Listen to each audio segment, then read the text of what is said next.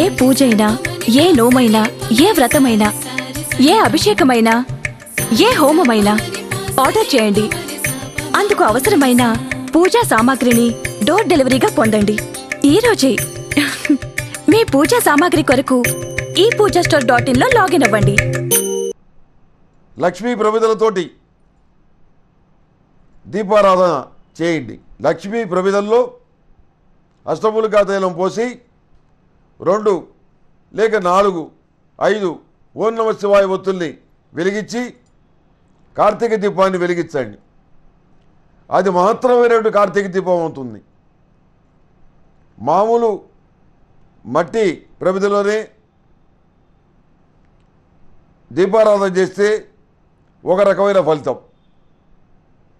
అదే ఇత్తడి అయితే ప్రమిద అయితే అదొక ఫలితం. రాయి ప్రమిదల్లో దీపారాధన చేస్తే అదొక ఫలితం.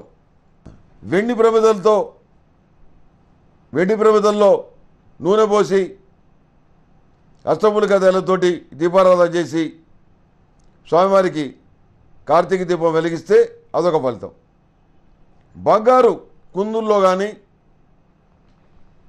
బంగారు ప్రమిదల్లో కానీ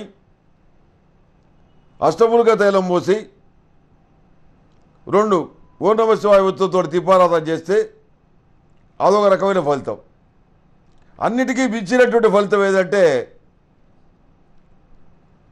లక్ష్మీ ప్రమిదల్లో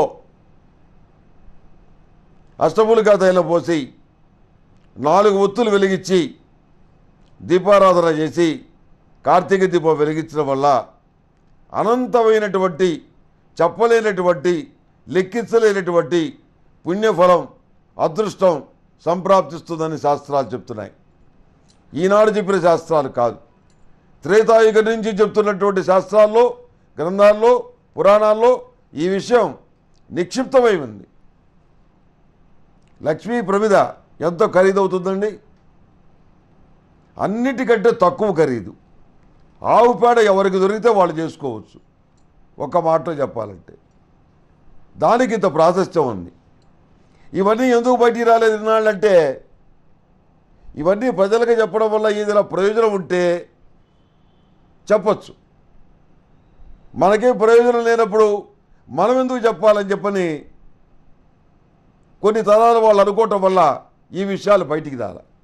కనుక ఏంటంటే ఆధ్యాత్మిక వ్యాపారం అడ్డం వచ్చి మంచి విషయాలు ఏవైతే ఉన్నాయో అవి మరుగున పడిపోయాయి.